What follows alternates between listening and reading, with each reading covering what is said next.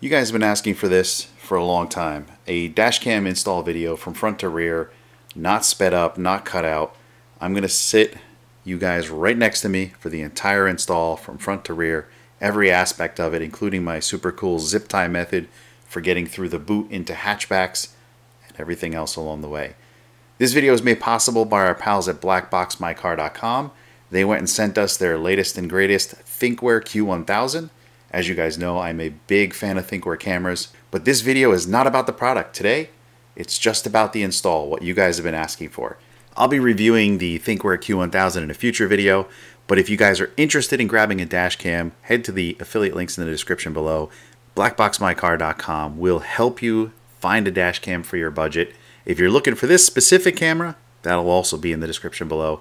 Every purchase, you guys get a discount, and you can help out my channel. So let's get started with this install. All right, so today we're working on my wife's 2022 Hyundai Tucson. We'll be installing the brand new Thinkware Q1000 dual channel dash cam. Of course, we got the CPL filter to make sure we don't get that dashboard glare on the main camera. We're gonna be going over super simple install, hiding all the wiring up in the headliner and plugging it into the cigarette lighter up front. And then of course, routing the wires all the way to the back.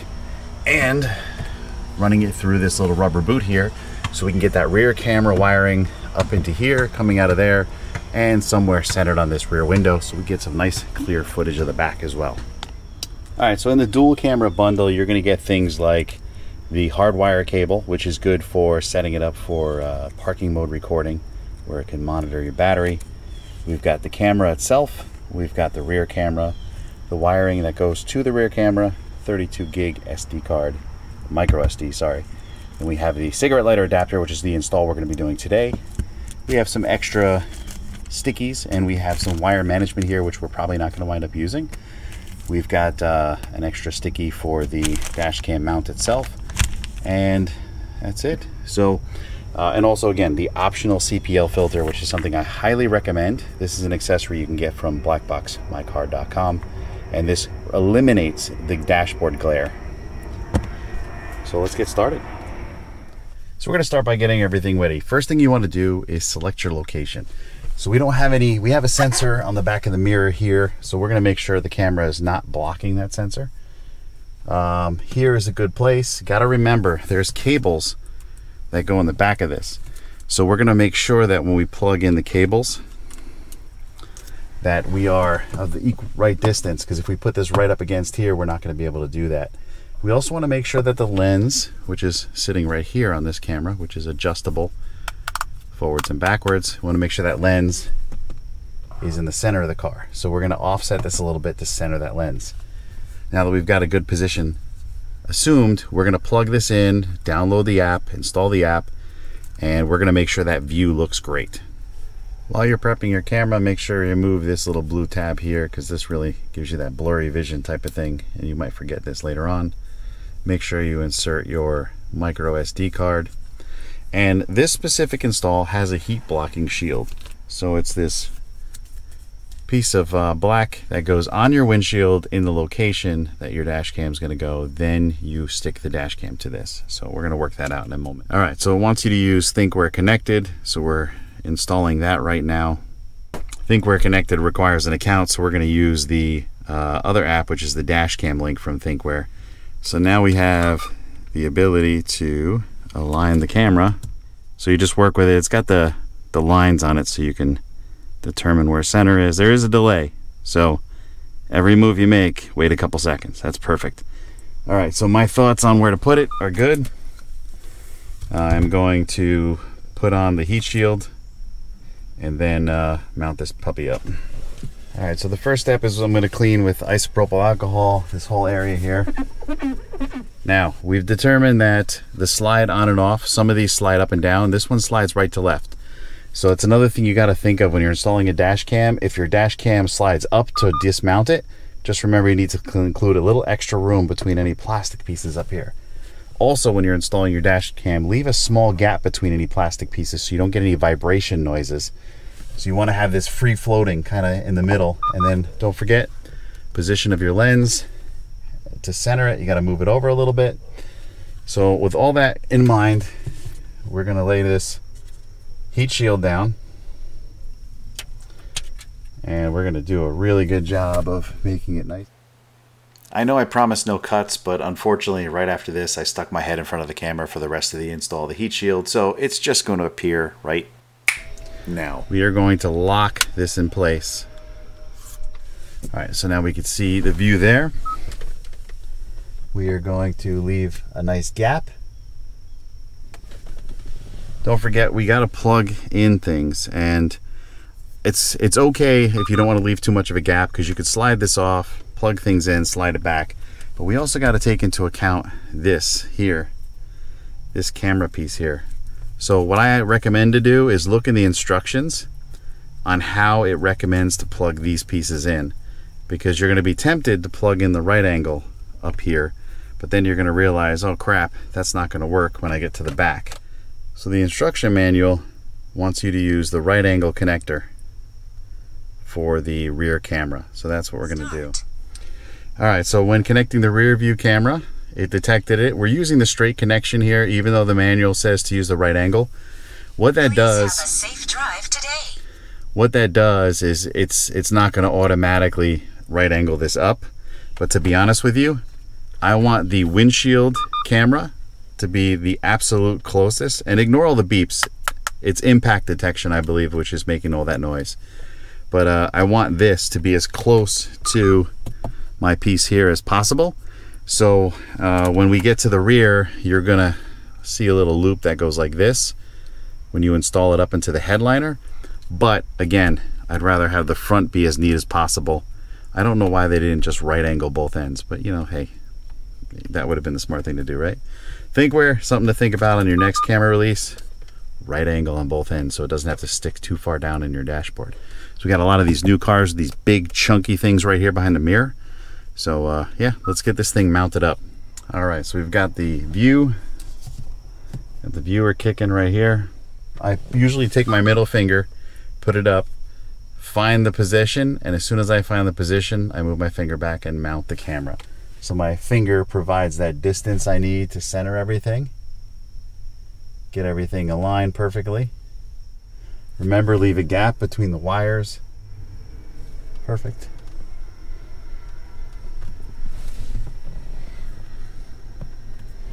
There we go. Camera's mounted, center of the windshield. All right, so funny story. I brought the boss out. She took a look at it. And she didn't like the way it sat on her windshield. It was too much of a distraction. So, after a little bit of deliberation, I decided to relocate the camera to a much less conspicuous place, which I actually like a lot better. No need to show you how to mount it again. We're just going to pick up right where we left off with the camera mounted, just in the new position now. There we go. And let's run the wire straight up into the headliner.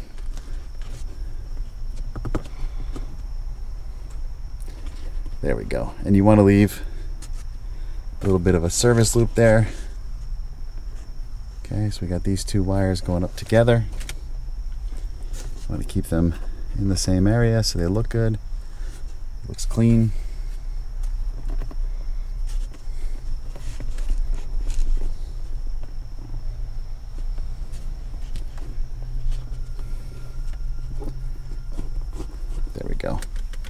And then if you need to, you can use this to push those wires in if you're having trouble getting them up there.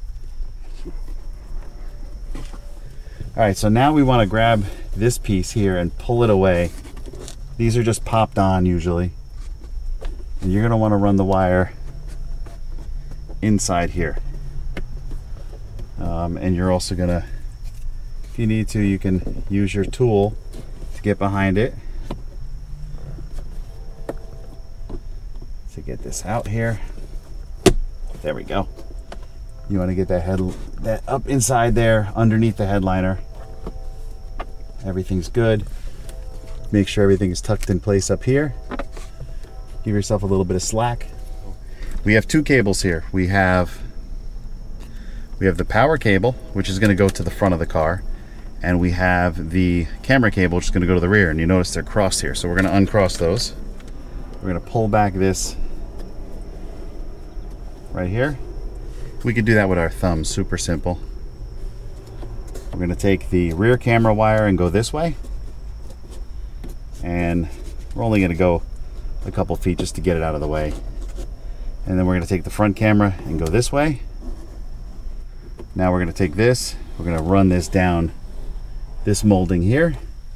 We're going to take this and we're going to run this along this molding here. And it's easier just to get your finger in there and help it along. And it kind of basically goes up into the headliner and it doesn't do anything to this seal right here. Okay, this seal is still perfectly intact. It's still gonna hold water.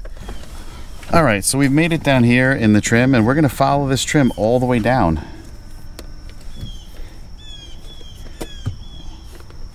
If I could stop uh, adjusting the seat with my butt here.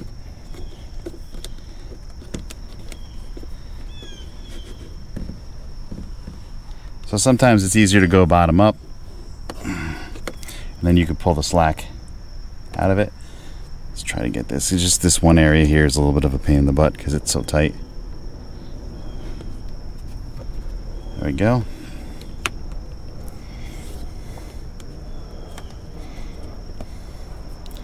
As you guys can see, all I'm doing is peeling and tucking. There we go. Okay, so this is tucked all the way down here, and now we're gonna disappear underneath here. All right, so every car has a different way to pull these down. The Hyundai has a clip system. You just basically pop it, but most cars, it's a, a metal clip system where you basically just yank it down. We're gonna bring this up and over this, this area right here. And this is where we're gonna store so in here is where we're going to store all the excess wiring. So now that we've got this down, we're going to come up here. We're going to plug this in. We're going to plug this into her cigarette lighter. We're going to arrange the wire so it goes up into the top section here so we can disappear, give it a little bit of extra. So we're going to tuck it into the leather all the way down here and then we're going to grab the interior tool and gently push this back so it's not visible. It may take you a little bit of time to do it but now no visible wire right there. Okay so now we have this little section of wire right here that's extra. So we're going to bundle it up. So we get a wire tie right here wrap it up. And then make sure it's out of the way of the clips and push everything back into place. There we go. Fresh clean install going up coming down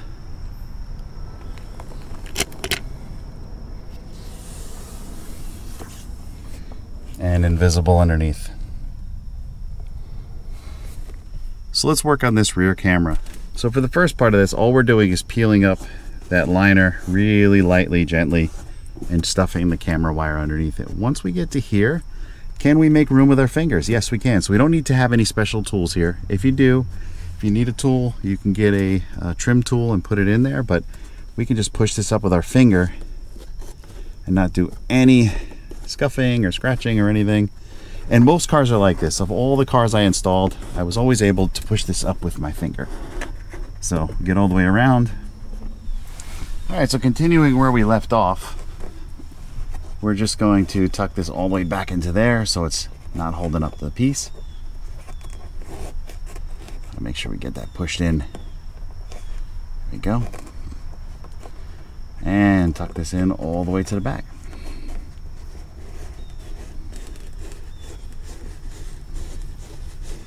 Now, if you have a white headliner like we do, you are going to want to make sure your fingers are very clean as you're rubbing through all this.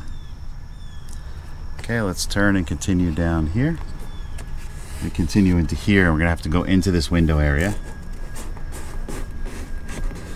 As you can see, this takes no time at all to completely hide the wires. All right, so we've gone into the window. So let's see if I can get you guys over there. Now that you're in the mini window, we're gonna go up and around. We're gonna probably need a tool to get past. Oh wait, never mind. It's just feeding up in there nicely. Okay, and then we're gonna have to get inside here, which is going to take a little bit of finesse.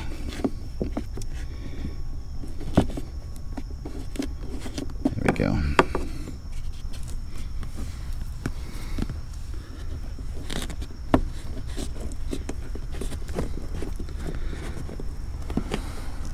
Okay, it's really tight right here, but I can still do this with just my finger.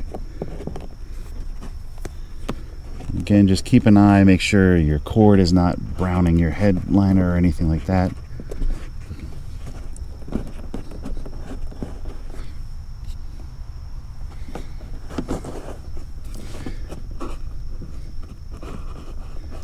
There we go. All right, so we've made it to here and this headliner has like center pieces in here that make it really hard to pull down. So what I'm going to try and do is I'm going to try and cheat a little bit. I'm going to try and run this through here. I'm going to come over to, sorry, I'm going to run this through here. I'm going to come over to here and I'm going to run my cable up through here using the zip tie method and I'll show you that in one sec. So the first thing we got to do is we got to get this panel down. So as you can see, there's a division here and a division here. So most cars, you just pull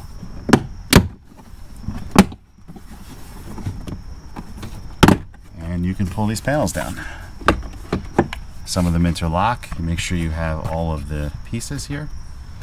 All right, now we've got this rubber grommet here and we're gonna use the zip tie method to get a zip tie through this rubber grommet and potentially come out here so I can capture it. All right, let's get that going.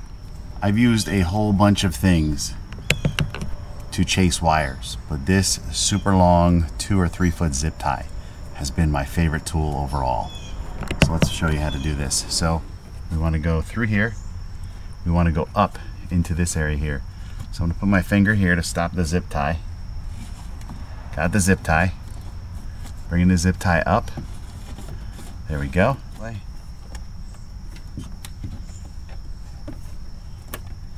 There we go. Coming through. And we're all the way through. There we go. Right? So we're gonna pull this back. We're gonna attach Okay, first and most important, make sure your wire is not tangled on anything because this is something you're not going to want to do more than once.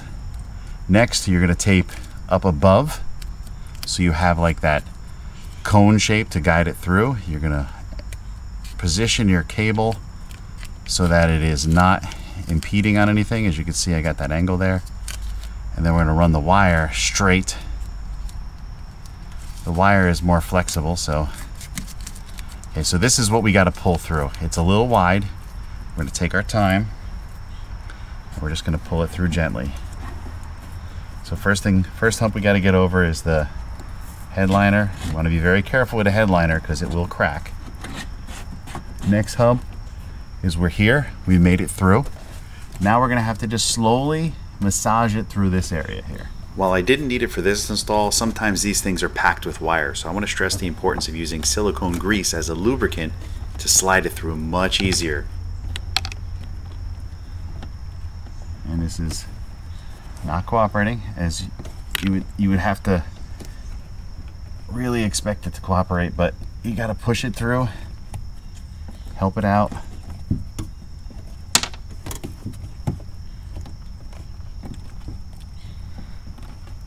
Feed it through a little bit at a time. Okay, so it's choking on the corner. All right, we made it past the corner. That's the thing, you can actually push and pull with the whole zip tie method. As you can see, we're right about here now. And we've made it all the way through.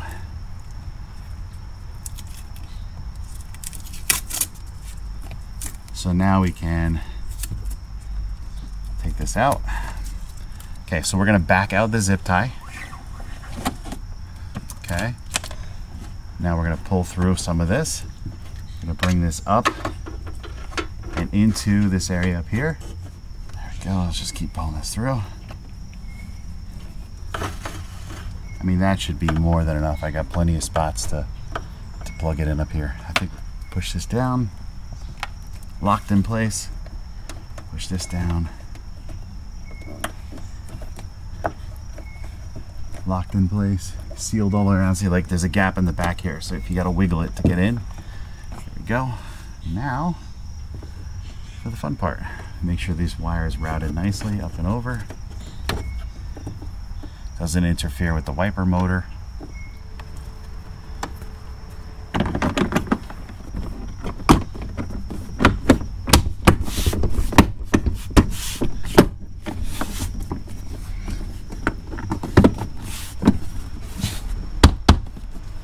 Okay, and then we push this down and just go sit in the trunk and find the best possible spot for it. In the meantime, what we've got left is all this spare wire. So let's peel this back a little bit. There we go. We have all this room in here. There we go. Let's use that room for this wire.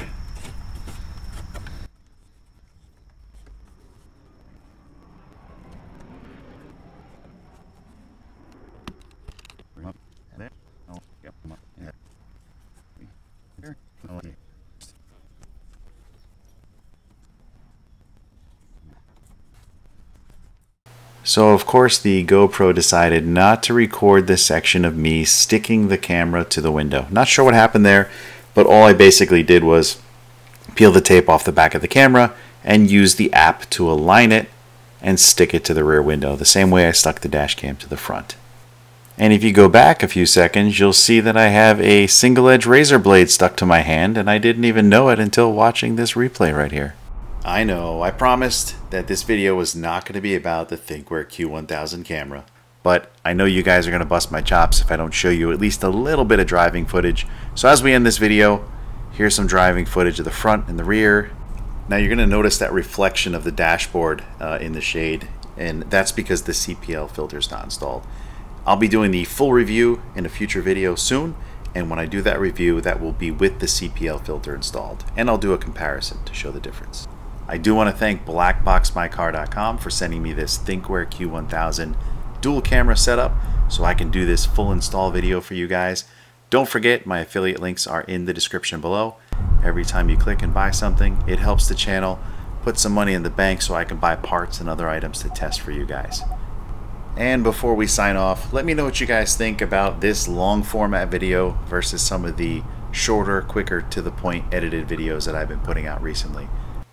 If you found this video helpful, please gently press that like button. If you're stopping by for the first time, don't forget to check out my other content and consider subscribing. And as always, thanks for watching.